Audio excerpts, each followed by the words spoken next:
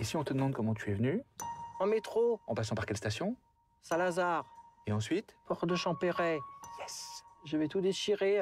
Bah j'espère bien. Enfin, euh, pas tout quand même, hein.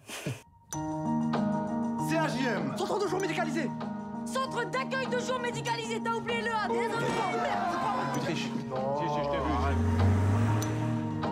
diagnostic, c'est quoi C'est un autisme particulièrement sévère. J'ai eu l'assistante sociale, il est mineur, elle demandera le placement judiciaire. Ça nous laisse combien de temps, ça Environ 15 jours, Je vais trouver une solution.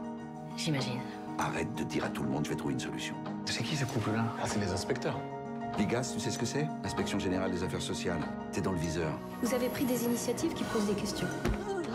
Nous avons à charge de revenir à une situation qui donne plus de sécurité. Cette association répond aux besoins dans l'urgence. Elle accepte des patients que la société refoule ou qui semblent impossibles à améliorer.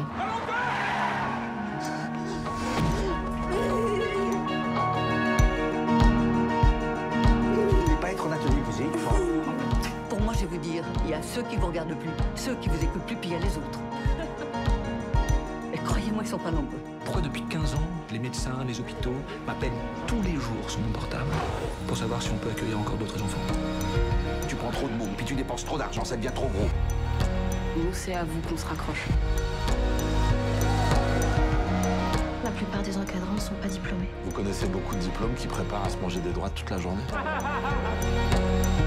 L'alternative, tu la connais? C'est la fermeture.